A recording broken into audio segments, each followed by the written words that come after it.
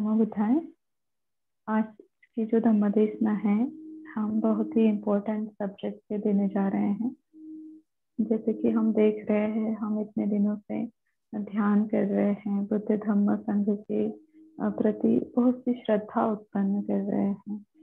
लेकिन फिर भी मन में, अपने चित्त में कभी ना कभी जब कोई धम्म देशना आती है, कौन से धम्म के सब्जेक्ट के ऊपर चर्चा होती है तो चित्त में कोई डाउट शक उत्पन्न होते हैं। बहुत से ऐसे मैसेजेस रिसीव होते हैं कि जिसमें उस धम्म के लिए चित्त में श्रद्धा श्रद्धा के वजह, जगह पे डाउट उत्पन्न होता है, शक उत्पन्न होता है कि सही में बुद्ध ने ये बताया या नहीं बताया, ये सारी बातें धर्म में है या नहीं है।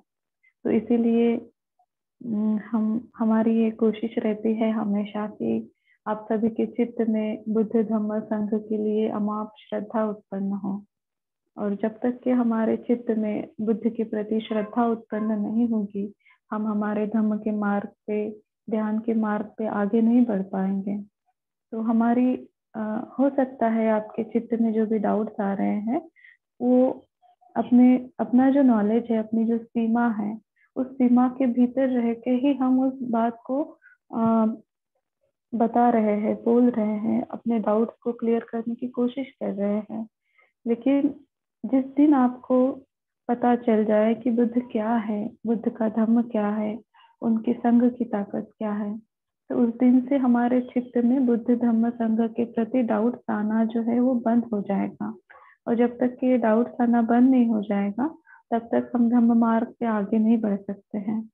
तो इसी के इसी को ध्यान में रखते हुए आज की धम्मदेशना यहाँ दे रहे हैं। ये धम्मदेशना बुद्ध के दस बल के ऊपर हम देने जा रहे हैं। जैसे कि हम वंदना जब करते हैं चेतीय पूजा तो उसमें हम बोलते हैं कि सभ्यपि बुद्धं दस बल तनुजनम बोधि चेतीय नमामि। कि इस संसार में, सारे चेतियों में, सारे धातुओं में बुद्ध धातु श्रेष्ठ है। इस संसार में सारे बलों में बुद्ध के दस बल श्रेष्ठ है और उस दस बल को बुद्ध के दस पावर्स को हम वंदन करते हैं, नमन करते हैं झुकते हैं, शरण जाते हैं। तो क्या है वो दस पावर दस बल बुद्ध के जिसको हमने शरण जाना चाहिए? और क्यों उस दस बल को हमने शरण जाना चाहिए? उससे हमें क्या लाभ मिलता है? इसके ऊपर आज की ये धर्मदेशना हम देने जा रहे हैं।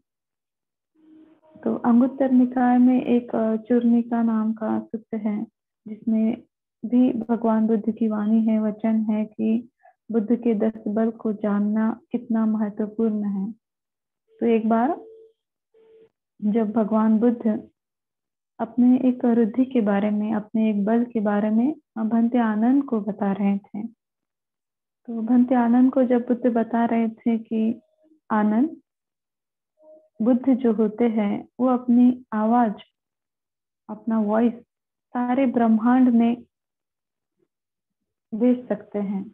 जहाँ भी बुद्ध चाहे जो भी सुन सुन सके आ, सुनना चाहे बुद्ध की आवाज़ को बुद्ध के वचन को तो बुद्ध वहाँ तक अपनी आवाज़ पहुँचा सकते हैं। तो ये बुद्ध का बल है। ऐसा ऐसा कोई स्थान नहीं ऐसी कोई जगह नहीं जहाँ तक बुद्ध की आवाज़ ना जा सके। तो बुद्ध जहाँ चाहे अपनी आवाज़ पहुँचा सकते हैं तो उसके लिए बुद्ध सबसे पहले अपने मुँह से, अपने वाणी से एक प्रकाश उत्पन्न करते हैं और उस, वो प्रकाश पहले उस जगह पे पहुँचता है और उसके बाद बुद्ध की आवाज़ वहाँ पहुँचती है। तो जब वो प्रकाश पहुँचता है तो सारे लोगों का चित्त जो है वो प्रसन्न होके पूरी तरह से अलर्ट हो जाता है कि बुद्ध का वचन सुनने को मिलेगा करके। और इस प्रकार वो बुद्ध का वचन सुन के आनंदित होते हैं और बुद्ध का वचन वो वहाँ पे ठीक तरह से सुन पाते हैं। उनको सुनने में कोई प्रॉब्लम नहीं जाती। तो ये बुद्ध का बहुत ही बड़ा एक बल है। तो इस बल को जब भंते आनंद सुनते हैं तो उनको उनका चित्त बहुत ही प्रसन्न हो जाता है। वो सोचते हैं कि ये कितना महान ये कितना ग्रेट है, कितने महान है ये व्यक्ति की जिनकी आवाज़ सारे ब्रह्मांड में सही तरीके से पहुँच जाती है। हम तो जब बात करते हैं तो शायद ही कुछ दूरी तक हमारी आवाज़ पहुँचे। लेकिन बुद्ध की आवाज़ में ऐसा क्या है कि बुद्ध की आवाज़ हर पूरे संसार में फैल सकती है, सारे संसार के जीवों तक वो जा सकती है। तो कितने महान ये व्यक्ति हैं।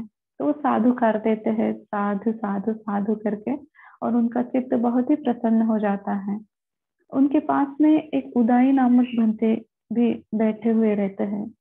तो देखते हैं आनंद को कि जब बुद्ध अपने इस वृद्धि के बारे में भंते आनंद को बताते हैं तो आनंद इतने खुश हो जाते हैं, उनके चेहरे पे इतने प्रसन्न भाव आ जाते हैं। तो उदाई बनते बनते आनंद से बोलते हैं तो ये तो बल बुद्ध का है। आप इतने प्रसन्न क्यों हो रहे हैं इसमें? इतने उत्तेजित क्यों हो रहे हैं? इतने आनंदित क्यों हो रहे हैं? तो जब बुद्ध ये सुनते हैं कि उदाई बनते बनते आनंद से बोल रहे हैं कि आप इतने खुश क्यों हो गए बुद्ध का ये बल सुन के? ये तो बुद्ध का बल है, इससे हम लोगों को क्या लाभ मिल सकता है? ये तो बुद्ध के बल होते हैं कि बुद्ध अपनी आवाज़ वहाँ तक पहुँचा पाते हैं, उसमें हमें कोई लाभ नहीं मिलता। तो तब बुद्ध उदाई बनते जी से बोलते हैं कि, उदाई, जब कभी भी आप बुद्ध के बारे में सुनो, बुद्ध के बल के बारे में सुनो, और उस समय अगर आपका चित्त प्रसन्न हो जाए, आप अपने चित्त में, अपने हृदय में खुशी महसूस करो और ये समझो कि हाँ ये कितना महान व्यक्ति है कि इनके इनके इतने पावरफुल इनके बल है इतनी इनकी शक्ति है तो ये बल किसी के पास नहीं है, जो बुद्ध के पास है। और उस बल को हम सुन रहे हैं, ये भी कितना महान पुण्य है कि हम बुद्ध के बल को सुन रहे हैं। अगर आप अपने चित्त में ऐसी प्रसन्नता का भाव लाओगे, इस तरह से अपने चित्त को अगर आप प्रसन्न कर सकोगे तो ऐसा इंसान सात बार इस संसार में चक्रवर्ती सम्राट बन सकता है। इतनी पावर उसमें आ जाती है। सिर्फ़ बुद्ध के बल को सुन के प्रसन्न होने से। इतना, इतने महान बुद्ध के बल हैं, क्योंकि उस बल को प्राप्त करने के लिए बुद्ध ने न जाने कितने कल्पों तक अपना, जो अपनी जो यात्रा है, उसको पूर्ण किया है। तब जाके बुद्ध को वो दस बल प्राप्त हुए। तो कौन से दस बल है, उस बल के बारे में आज हम यहाँ पे डिस्कस करेंगे। आपको बताने की कोशिश करेंगे। तो बुद्ध का जो आप भी अपने चित्त को पूरी तरह से प्रसन्न रखिए और जैसे जैसे बुद्ध का एक एक बल आपके सामने आएगा तो उस बल को महसूस कीजिए। अपने सामने देखने की कोशिश कीजिए और उसमें अपने चित्त को, अपने हृदय को पूरे श्रद्धा से भर दीजिए, ताकि आपकी साधना को भी उस बल से बल मिल जाए। तो बुद्ध का जो पहला बल है, बुद्ध का पहला बल है कि बुद्ध स्थान को स्थान के तौर पर और अस्थान को स्थान के तौर पर तौर पर भली भांति जानते हैं। तो स्थान को स्थान के तौर पर और स्थान को स्थान के तौर पर जानना यानी क्या? कि बुद्ध जानते हैं कि कौन व्यक्ति कौन से कर्म से कहाँ पे जन्म लेगा। कौन सा व्यक्ति कौन से कर्म से कहाँ जन्म ले सकता है, कहाँ जन्म नहीं ले सकता है। और इस संसार में ऐसे कौन से लोग हैं उस लोक में उनका जीवन मान क्या मतलब आयु आयु कितनी है? वो वहाँ पे क्या खाते हैं? कैसे रहते हैं? कौन से कर्म के विपाक के कारण वो भूमि पे निर्माण हुए हैं, जन्म लिए हैं? और कौन से कर्म के विपाक के कारण वो उस भूमि से चले जाएँगे? नष्ट हो जाएँगे, उनका मृत्यु हो जाएगा। ये सारी बातें बुद्ध जानते हैं। हम तो सिर्फ़, हमें जो छोटे मोटे जीव दिखते हैं तो हम उस जीव के बारे में थोड़ी बहुत जानकारी रखते हैं कि हाँ जो प्राणी होते हैं, वो इतने समय तक ज़िंदा रहते हैं और इतने समय के बाद वो मर जाते हैं। इसके ऊपर हम कुछ नहीं जानते कि ये कौन से कर्म के कारण इस रूप में पैदा हुए हैं और कौन से कर्म के कारण वो यहाँ से मुक्त होकर कहाँ पे जन्म लेने वाले हैं। ये हम कोई नहीं जान सकता, सिर्फ़ बुद्ध जान सकते हैं। तो इस तरह से वो इकतीस प्रकार के जो लोग हैं, वो सारे लोग के बारे में बुद्ध को सारी जानकारी होती है। स्थान के, स्थान को स्थान के तौर पर जानना, स्थान को स्थान के तौर पर जानना, यानी कि बुद्ध जानते हैं कि जैसे कि हम मनुष्य और मनुष्य जीवन के बारे में देखें तो बुद्ध जानते हैं कि कौन सा मनुष्य कौन से कर्म के कारण कहाँ उत्पन्न हुआ है, कौन सा मनुष्य कौन से कर्म के कारण मृत्यु को प्राप्त हुआ है। कौन सा मनुष्य कौन से कर्म के कारण ऐसी सुख सुविधाएँ उपभोग रहा है? और कौन सा मनुष्य कौन से कर्म के कारण दुख में है? और किस कर्म को करने के कारण वो दुख से मुक्त हो जाएगा? और किस कर्म को करने के कारण वो उसका सुख जो है उससे छीन जाएगा? इस सारी बातें बुद्ध जानते हैं। जैसे कि बुद्ध स्त्री के बारे में बताते हैं कि स्त्री की असंभव जो स्थितियाँ है कि स्त्री क्या हो सकती है, क्या नहीं हो सकती? कौन सी चीज़ें जो है वो स्त्री के लिए असंभव है? जैसे कि अभी एक दिन पहले आपने मदेशना सुनी, धर्मपद के, धर्मपद का एक वचन सुना। उसमें आपने सुना कि स्त्री स्त्री के क्या कर्म होते हैं? तो इसी प्रकार बुद्ध ने ये सारी चीज़ें बताई है कि कौन सी संभव चीज़ें हैं, असंभव चीज़ें हैं स्त्री के लिए कि स्त्री क्या हो सकती है, क्या नहीं हो सकती? पुरुष क्या, कौन सा स्थान प्राप्त कर सकते हैं, कौन सा स्थान प्राप्त नहीं कर सकते? तो जैसे बुद्ध बताते हैं पहले अपने बल के कारण, कि स्त्री जो होती है, वो कभी भी बत्तीस लक्षणों वाला चक्रवर्ती सम्राट नहीं बन सकती। स्त्री जो होती है, वो कभी पैचक बुद्ध नहीं बन सकती। स्त्री जो होती है, वो कभी सम्यक संबुद्ध नहीं बन सकती। वो देवेंद्र शक्र नहीं बन सकती। वो मार नहीं बन सकती। वो महाब्रह्मा नहीं बन सकती। और इसके विरोध में जाके हम देखें तो पुरुष ये सारी चीज़ें बन सकते हैं। अब आ, इसके आगे भी जाके बुद्ध कहते हैं कि हाँ ये सही है कि स्त्री कभी चक्रवर्ती सम्राट नहीं बन सकती वो पैचक बुद्ध नहीं बन सकती वो सम्मा संबुद्ध नहीं बन सकती। लेकिन अगर कोई स्त्री ऐसा अधिष्ठान रखे कि वो पैचक बुद्ध बनना चाहे वो सम्मा संबुद्ध बनना चाहे वो बत्तीस लक्षणों वाला सम, चक्रवर्ती सम्राट बनना चाहे वो महाब्रह्मा बनना चाहे तो क्या कर्म करने से स्त्री वो बन सकती है? ये भी बुद्ध जानते हैं। बुद्ध सारी बाधाएँ के बारे में जानते हैं बुद्ध उसके सारे उपाय के बारे में जानते हैं। तो बुद्ध जैसे कहते हैं कि अगर स्त्री का अधिष्ठान है एक स्त्री का अधिष्ठान है कि वो पैतृक बुद्ध बनना चाहे या समासम बुद्ध बनना चाहे तो उसको स्त्री के योनि से पुरुष पुरुष के योनि में जाना होगा। और पुरुष के योनि में जाने के लिए स्त्री के योनि में रह के उसको क्या कर्म करने से वो पुरुष योनि में जन्म ले सकती है, ये सारी बातें बुद्ध जानते हैं और इस सारे मार्ग के बारे में बुद्ध ने बताया है। तो इस तरह से बुद्ध का ये बल है कि बुद्ध सारे संभव, असंभव चीज़ों के बारे में, स्थितियों के बारे में जानते हैं। और उसका उपदेश सारे जीवों में समान भाग से करते हैं। और इसी बल से, इस पहले बल से बुद्ध अपना जो धर्म है, वो इस ब्रह्मांड में, इस पूरे संसार में, इस प्रकृति में प्रस्तापित करते हैं। इस बल के साथ बुद्ध का धर्म प्रस्तापित होता है। इसी कारण बुद्ध के धर्म को कोई चैलेंज नहीं कर सकता। कोई भी ऐसा जीव जो उत्पन्न होता है, नष्ट होता है वो कोई भी जीव, बुद्ध के धर्म को चैलेंज नहीं कर सकता। बुद्ध के धर्म को रिजेक्ट नहीं कर सकता। उसको नकारा नहीं जा सकता। इस तरह से बुद्ध का ये पहला बल है कि बुद्ध सारे जीवों के बारे में, उसके कर्म के बारे में सब जानते हैं, उनकी स्थितियों के बारे में सब जानते हैं। उसके बाद बुद्ध का जो बल है, बुद्ध का ये बल है कि बुद्ध सारे वर्तमान को सारे भूतकाल को, सारे भविष्य काल को जानते हैं। और खुद के ही नहीं तो दूसरों के भी सारे भूतकाल को, अतीत को, सारे भविष्य को, सारे वर्तमान को बुद्ध जानते हैं। जैसे कि हम हमारे खुद के सिर्फ़ कुछ समय के भूतकाल को जानते हैं, बीते अतीत को जानते हैं। हम वर्तमान को पूरी तरह से नहीं जान पाते और भविष्य बारे, भविष्य के बारे में तो हम कतई कतई हम जानकारी नहीं रखते खुद के लिए। लेकिन बुद्ध एक ऐसे इंसान है, ऐसे व्यक्ति है, जो खुद के तो अतीत के बारे में जानते ही हैं और ऐसे नहीं कि कहीं सीमा तक जानते हैं। तो बुद्ध अपने सारे अतीत के बारे में जानते हैं, सारे वर्तमान के बारे में जानते हैं और बुद्ध सारे भविष्य के बारे में जानते हैं। और एक के लिए नहीं तो सारे जीव जो उत्पन्न हुए हैं जिन जिन जीवों में चेतना है चित्त है, उस सारे चेतना के अतीत को बुद्ध जानते हैं। उन सारे जीवों के वर्तमान को बुद्ध जानते हैं और उन सारे जो भी जीव इस पूरे सृष्टि में, इसी ब्रह्मांड में नहीं, इसी लोक में नहीं तो इकतीस प्रकार के जो लोक है और उससे ज़्यादा भी अगर कोई लोक होंगे तो उन सारे लोक के भविष्य के बारे में, वर्तमान के बारे में और सारे भूतकाल के बारे में, अतीत के बारे में बुद्ध सब कुछ जानते हैं। ये बुद्ध का बल है। तो ये सिर्फ़ बुद्ध जान सकते हैं। और इसी बल के साथ बुद्ध अपना धम्मचक्र जो है इस पूरे ब्रह्मांड में, इस पूरे सृष्टि में प्रस्तापित करते हैं।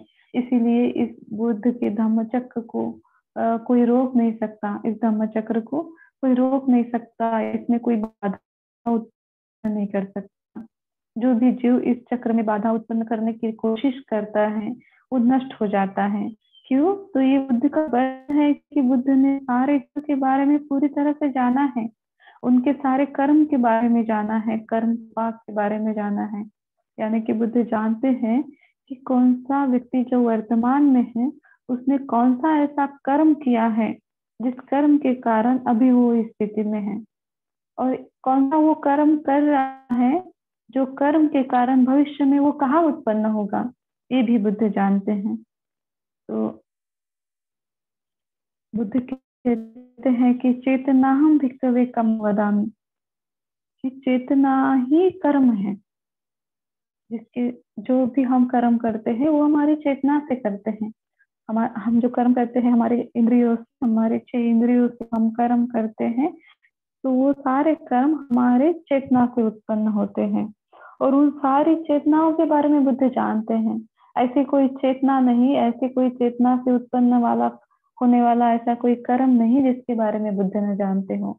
इसलिए बुद्ध ने कर्म के ग्यारह ऐसे प्रकार बताए हैं कि इस ग्यारह प्रकार के कर्म करने से मनुष्य, उस ग्यारह प्रकार के कुशल, अकुशल कर्म करने से मनुष्य कौन सी जगह पे उत्पन्न होता है, उसको उस कर्म से उसको क्या परिणाम मिलते हैं और उस परिणाम का फल वो कहाँ तक प्राप्त करता है?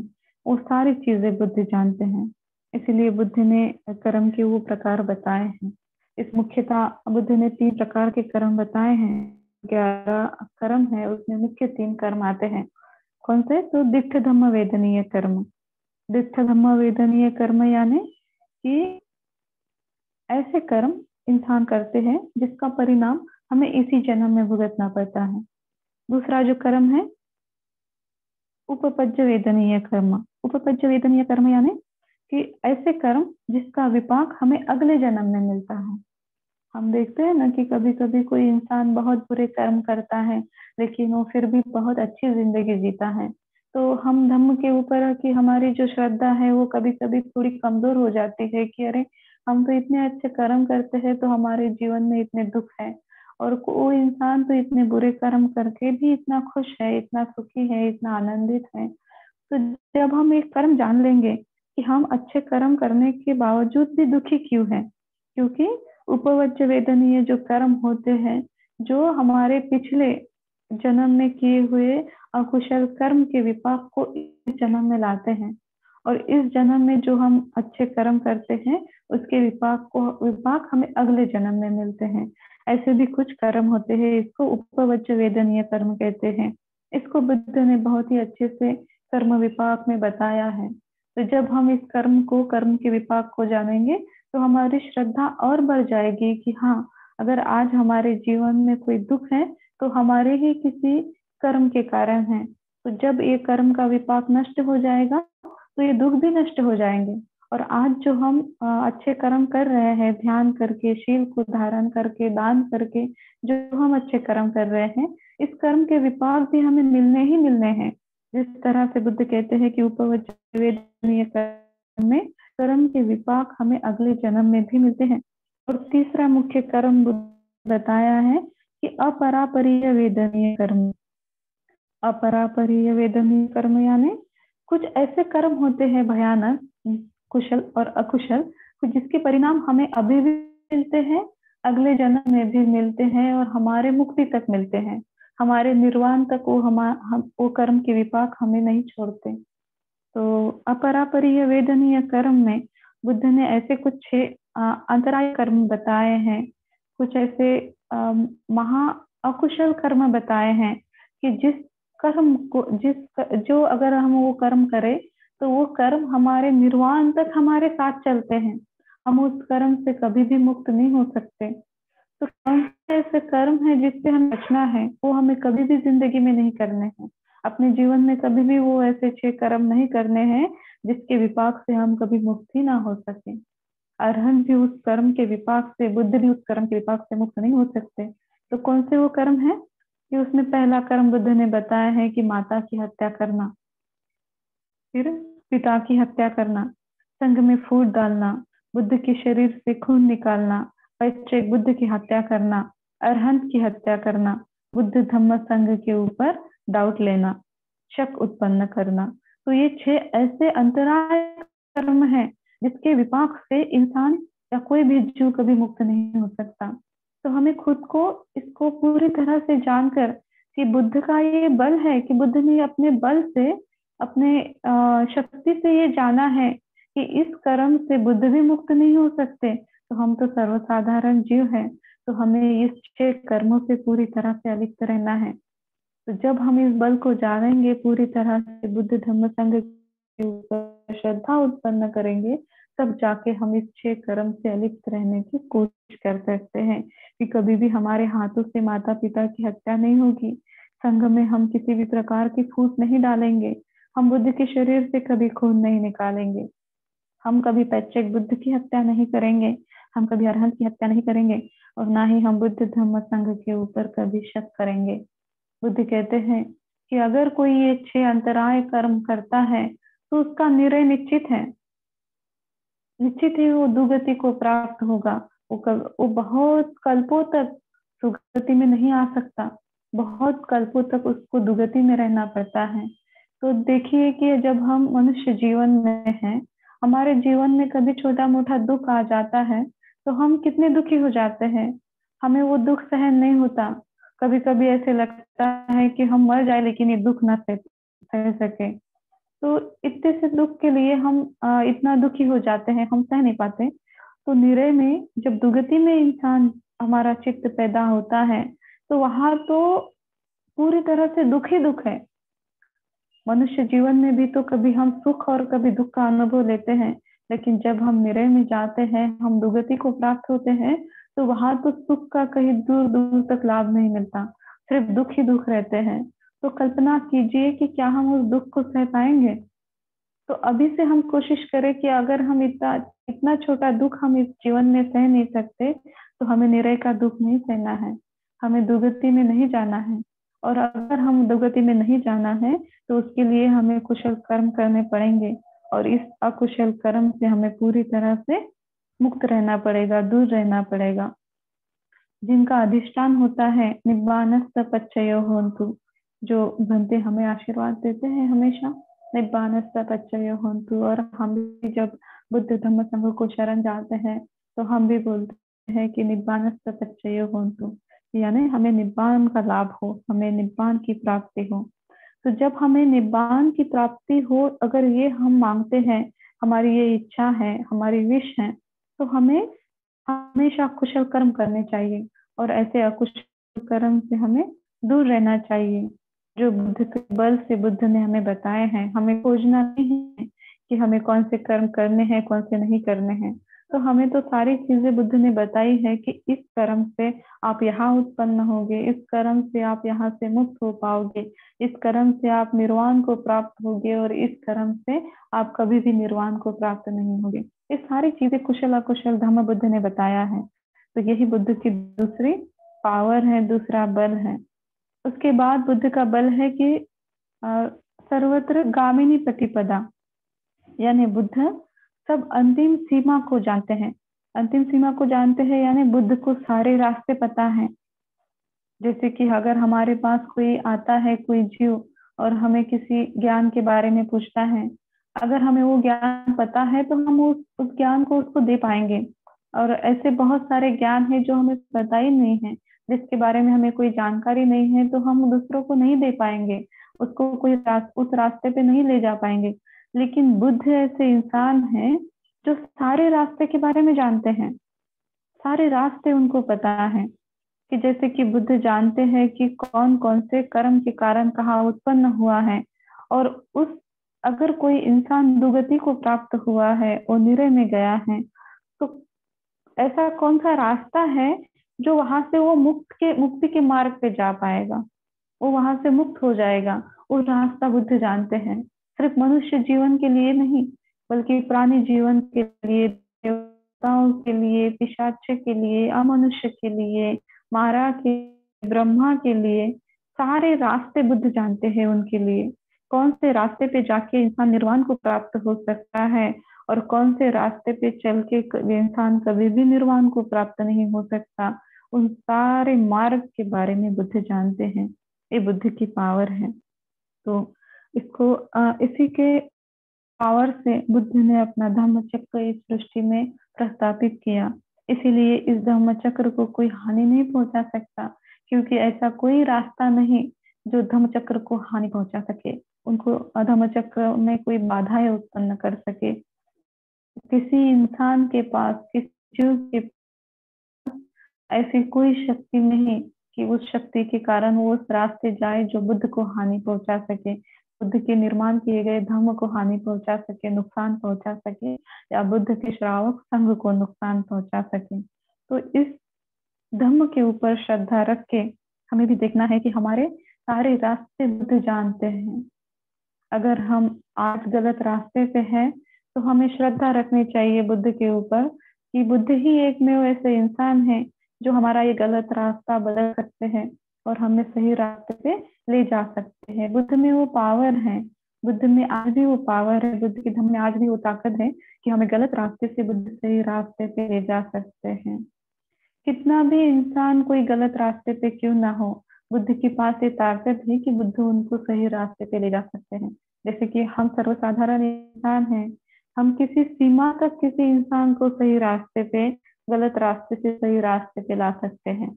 लेकिन कभी कभी हम भी हताश हो जाते हैं कि अगर कोई इंसान है जिसमें कोई ऐसे एक उसके, उसकी कोई ऐसी आदत है जिसको हम छुड़ाने की बहुत कोशिश कर रहे हैं, उसका कोई अकुशल धर्म है जिसको हम कुशल धर्म में लाने की कोशिश करते हैं। लेकिन बार बार हम बोलने से बार बार उनको सिखाने से, उसको सही रास्ते पे लाने भी हमारे कारण वो इंसान सही रास्ते पे नहीं आ सकता। तो हम थक के फिर उसको देते हैं कि नहीं ये इंसान ये व्यक्ति कभी बदलने वाला ही नहीं है, ये कभी सही रास्ते पे आने ही वाला नहीं है, ये इसके कर्म के विपाक को खुद भूतेगा इस तरह से हम उसको छोड़ देते हैं। लेकिन अगर बुद्ध ने जाना कि कोई इंसान बहुत गलत रास्ते पे है, इतने अकुशल कर्म कर रहा है कि कोई सोच ना सके कि कहीं कभी ये सही मार्ग पे आ जाएगा तो उस इंसान को भी सही मार्ग मार्ग पर लाने की ताकत सम्मा संबुद्ध में होती है। जैसे कि हमने बुद्ध शासन में देखा है कि ऐसे कितने तो भी लोग हैं जिनको, जो बहुत क्रूर थे, बहुत क्रोधिष्ट थे, बहुत ही अकुशल धर्म में थे तो बुद्ध ने अपने एक वचन से, अपने एक शब्द से उनको धर्म में परिवर्तित कर दिया है। जैसे अंगुली माल है देवदत्त है और बहुत सारे ऐसे उदाहरण है बुद्ध शासन में, बुद्ध काल में, जिन्होंने, जिनको बुद्ध ने अपने वाणी से धर्म में परिवर्तित किया है, उनका रास्ता बदल दिया है। तो इस तरह से ये बुद्ध का बल है कि बुद्ध सारे रास्ते को जानते हैं। और क्यों बुद्ध सारे रास्ते को जानते हैं? क्योंकि बुद्ध सारे जीवों के स्वभाव को जानते हैं। बुद्ध जानते हैं कि अगर कोई इंसान बहुत बुरा कर्म क्यों ना कर रहा हो तो उसके अंदर ऐसे, ऐसा कौन सा स्वभाव है, ऐसा कौन सा गुण है कि उस गुण के कारण वो सही रास्ते आ सकता है? बुद्ध उस गुण तक पहुँचते हैं और फिर उसी उसी के अंदर के उस गुण को बाहर निकालने की ताकत बुद्ध में होती है। तो इस तरह से बुद्ध लोगों को सही रास्ता दिखाकर मुक्त कर सकते हैं। ये बुद्ध का बल है। इसके बाद बुद्ध का ये बल है कि बुद्ध सारे इंद्रियों के किए गए कर्म को जानते हैं। हम हम जब देखते हैं तो हम सिर्फ़ हाथ से अगर कोई कर्म करे तो ये हम जान सकते हैं। हम कोई आँखों से अगर कोई कर्म करे तो हम जान सकते हैं। हम कोई वाणी से अगर कोई कर्म करे तो हम जान सकते हैं। लेकिन अगर कोई सामने वाला इंसान चित्त से अगर कोई कर्म करता है या उसके चित्त में कोई अकुशल कुशल धर्म है तो उसको हम नहीं जान सकते या हमारे भीतर के भी हम अकुशल धर्म को नहीं जान सकते। लेकिन बुद्ध खुद के भी सारे कुशल धर्म को जानते हैं, सारे इंद्रियों के कर्म को जानते हैं और दूसरे चित्त के भी सारे कर्म को दिखने, दृश्य और अदृश्य, सारे कर्म को जानते हैं। किसी के चित्त में क्या उत्पन्न हो रहा है, वो उत्पन्न हो रहा है तो क्यों उत्पन्न हो रहा है, उसके क्या विपाक होंगे, ये सारे इंद्रियों के कर्म के बारे में बुद्ध जानते हैं। इसी कारण बुद्ध के बुद्ध के पास वो बल था कि बुद्ध किसी को भी कोई कर्म करने से रोक सकते थे। बुद्ध किसी को भी कोई बुरा कर्म करने से रोक सकते थे। ये बुद्ध का बल है। ये बल किसी के पास में इस संसार में नहीं है। उसके बाद बुद्ध का बल है कि बुद्ध सारे ध्यान को जानते हैं। ऐसा कोई ध्यान नहीं है जिसके बारे में बुद्ध न जानते हो। आज इस संसार में जो हम ध्यान सीख रहे हैं, इसी संसार में नहीं तो जो इकतीस प्रकार के जो लोग हैं, वो सारे लोग जहाँ जो ध्यान कर रहे हैं वो सारा ध्यान बुद्ध का सिखाया है। सारा ध्यान बुद्ध जानते हैं। सारे ध्यान के प्राप्ति के बारे में बुद्ध जानते हैं। सारे कौन सा ध्यान करने से इंसान को कौन सा नुकसान हो सकता है, ये बुद्ध जानते हैं। कौन सी हानि हो सकती है, ये बुद्ध जानते हैं। अगर कोई इंसान कोई ध्यान कर रहा है तो उसके ध्यान में कौन सी बाधाएँ आ सकती हैं? उस उस बाधाएँ, उस बाधाओं को वो कैसे निराकरण उस बाधाओं का कर सकता है, वो बुद्ध जानते हैं। इसीलिए बुद्ध ध्यान के हमारे शास्त्र हैं, हम शिक्षक हैं। तो इस बुद्ध के बल को शरण जाते हुए हमें ध्यान करना चाहिए। हाँ जब आज हम ध्यान कर रहे हैं, आज हमारे ध्यान में हमारा चित्त विचलित हो रहा है, इतनी बाधाएँ उत्पन्न हो रही है, इस बाधाओं का सोल्यूशन है, इसका जो आधार है, इस बाधाओं से मुक्ति का जो मार्ग है, वो सिर्फ़ बुद्ध जानते हैं तो हमें बुद्ध को शरण जाना है। तो इस बल को ध्यान में रखते हुए हमें बुद्ध को शरण जाना है कि बुद्ध सारे ध्यान के बारे में जानते हैं, सारे ध्यान के अंदर निर्माण होने वाले सारे बाधाओं के बारे में जानते हैं, और उस बाधाओं से हम कैसे दूर हो जाएँ, उन सारे रास्तों के बारे में बुद्ध जानते हैं। और इसी बल को हम बुद्ध के इस बल को शरण जाते हुए ध्यान करने ध्यान हम करें तो हमारे ध्यान को आगे बढ़ने से कोई रोक नहीं सकता। आज अगर हमारे ध्यान में कोई बाधाएँ उत्पन्न हो रही है तो इस कारण उत्पन्न हो रही है कि हमें पता ही नहीं है कि बुद्ध के बारे, बुद्ध को ध्यान के बारे में बुद्ध के पास क्या बल है। तो इस कारण हमारे ध्यान में सारी बाधाएँ उत्पन्न हो रही हैं। जब भी हमारा चित्त दूषित हो जाता है, हम कोई अकुशल कर्म करने लगते हैं तो हम यही सोचते रहते हैं कि, अरे, हमारे ध्यान हमारा ध्यान नहीं हो पा रहा है। हमारे चित्त में बहुत सारे विचार आ रहे हैं। हमसे बहुत अकुशल धर्म को, धर्म उत्पन्न हो रहा है। लेकिन हम कभी ये नहीं सोचते और इस तरह से बुद्ध को शरण नहीं जाते कि हाँ हमारे चित्त में जो भी अकुशल धर्म उत्पन्न हो रहा है, हमारे ध्यान में जो भी उत्पन्न हो रही है, इसका तो मार, इस, इससे तो मुक्त करने वाले जो व्यक्ति है, वो तो हमारे सामने बैठे हैं। वो तो बुद्ध है। हम बुद्ध को शरण जाके कभी नहीं ऐसा बोलते कि बुद्ध, आप ही ऐसे इंसान है जो मेरे ध्यान के बारे में जानते हैं। आप ही ऐसे इंसान है जिन्होंने ध्यान हमें सिखाया है। और आप ही ऐसे इंसान हैं कि आप हमें, हमारे ध्यान में उत्पन्न होने वाले बाधाओं से मुक्ति दिला सकते हैं। तो हम आपको शरण जाके हमारे ध्यान की नई तरह से शुरुआत चाहते हैं। तरह से बुद्ध को बल को जाना चाहिए और इसी बुद्ध के बल को प्राप्त करके बुद्ध ने पूरे ब्रह्मा पूरे इस प्रकृति में है। इसी कारण आज भी बुद्ध जो ध्यान है, बुद्ध की सिखाई हुई ध्यान, जो बातें हैं आज भी उसमें वही रिज़ल्ट है जो बुद्ध के काल में मिलता था। जैसे कि बुद्ध कहते हैं कि अगर आप ये ध्यान करोगे तो आप इस चीज़ का प्राप्ति होगी, आप ध्यान को प्राप्त करोगे, आप इस आपको एक लाभ मिल सकता है। आप इस इस तरह से को प्राप्त कर सकते हैं इस इस ध्यान से। तो उस समय भी बुद्ध शासन में वो प्राप्तियाँ थी और आज भी बुद्ध शासन में ये प्राप्तियाँ हैं।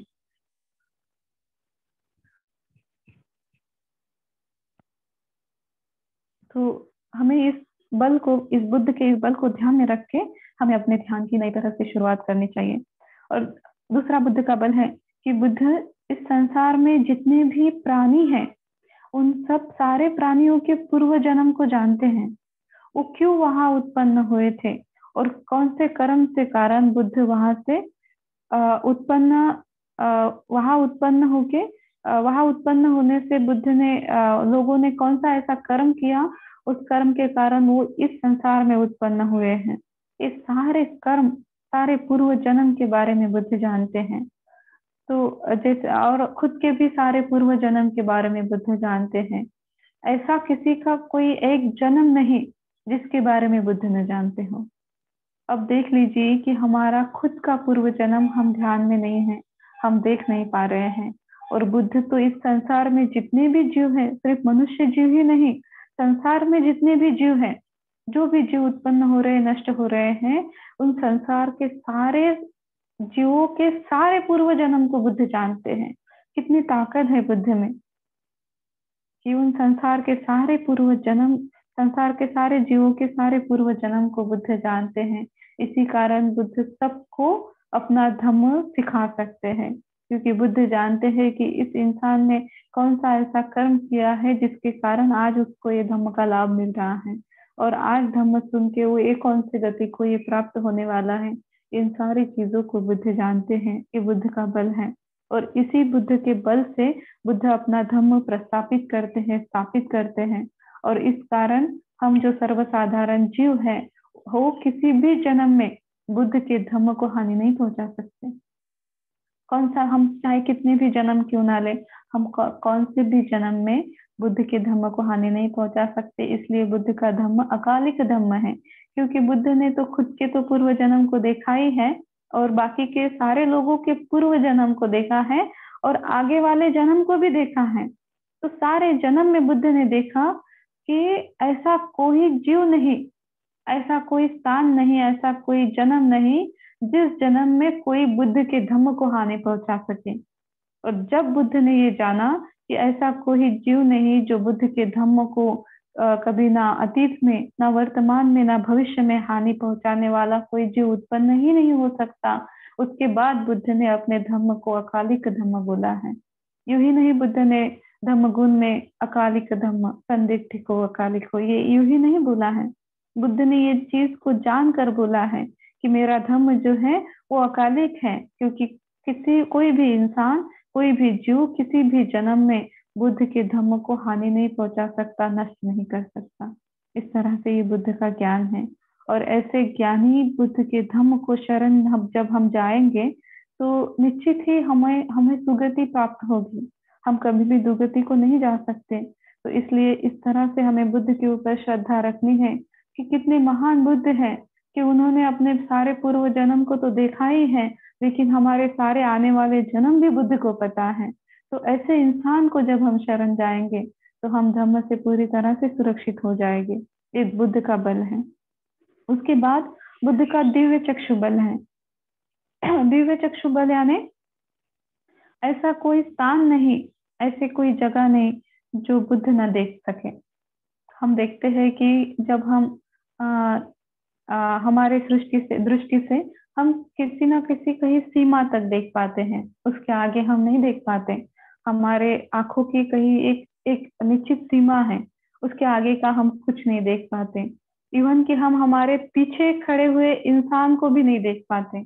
लेकिन बुद्ध के चक्षु ऐसे दिव्य चक्षु हैं बुद्ध का एक ऐसा दिव्य चक्षु बल है कि बुद्ध सारे ब्रह्मांड के सारे प्रकृति के सारे स्थल को बुद्ध स्थान को बुद्ध देख सकते हैं।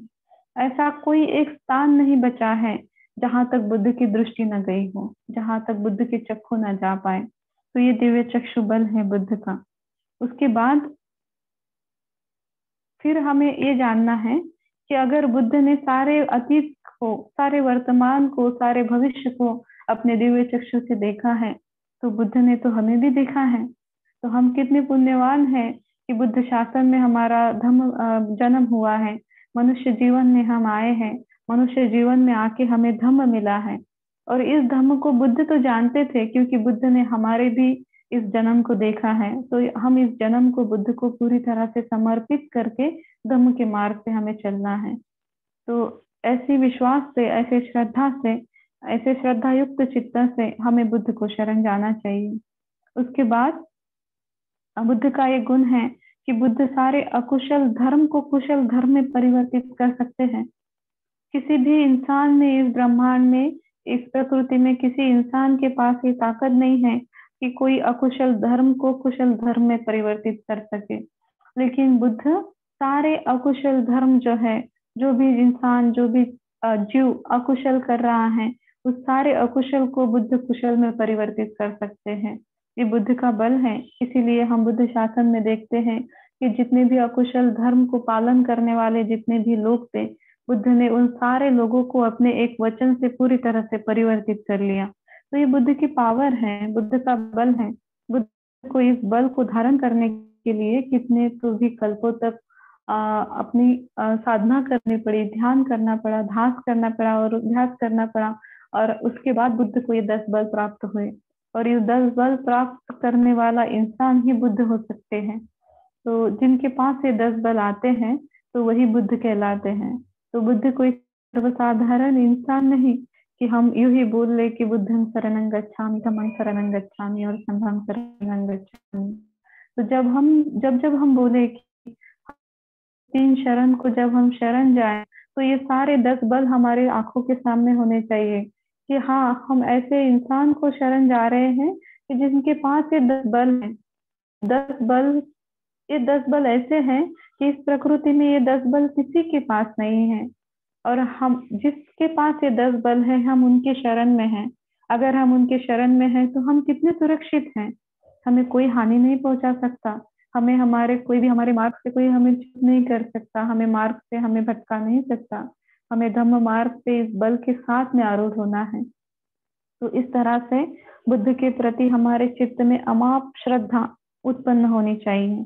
और जब हमारे चित्त में बुद्ध के प्रति ये अमाप श्रद्धा उत्पन्न होगी तो हमें बुद्ध का आशीर्वाद मिलेगा। बुद्ध का आशीर्वाद मिलेगा और तब जाके हम निर्वाण मार्ग से पूरी तरह से आरूढ़ होंगे। और इस तरह से धम्म को पूरी तरह से जान के धम्म को हमारे जीवन समाविष्ट करके हमें भी ये धर्म बल के लाभ से हम निर्वाण को प्राप्त कर सकते हैं।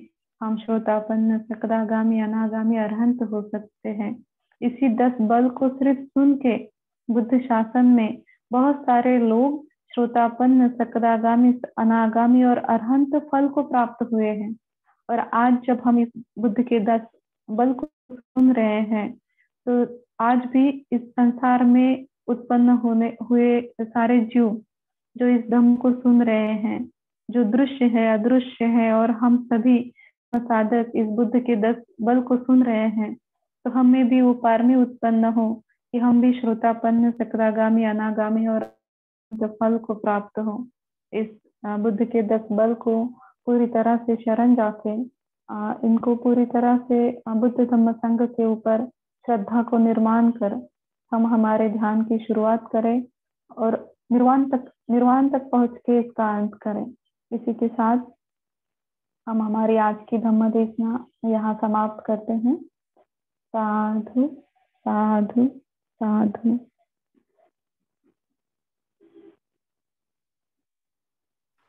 साधु साधु।